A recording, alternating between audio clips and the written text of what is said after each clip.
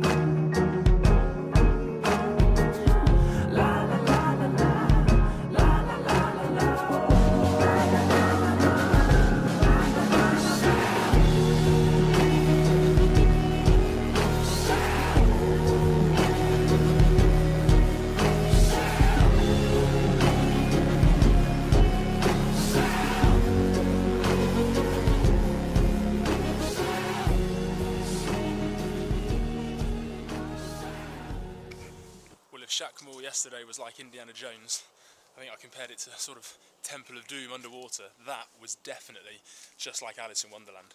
It was really trippy. Sam thinks she got narked a little bit. Um, she said she didn't even feel like she was diving. It was so so crazy. Uh, the tree just came out of nowhere and out of the halocline. Um, we were down at 40 meters, and then it was like we'd gone down the rabbit hole. That was it. We were just in a forest, an underwater forest. It was crazy. It really was trippy. Um, hopefully, just a few of the videos and the photos we got do it justice. Amazing, amazing dive. Angelita.